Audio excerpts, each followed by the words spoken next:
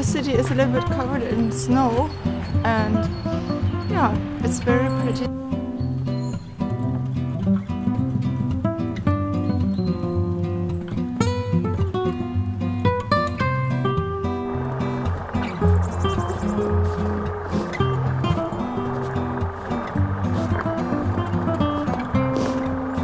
So I made some videos um, from the scarf, um, how to start the knitting, uh, how to cast on, to um, knit the first round and um, also um, yeah, to end your knit, also to cast off and um, yeah, maybe it's helpful for you to start also knitting a big chunky, cozy scarf.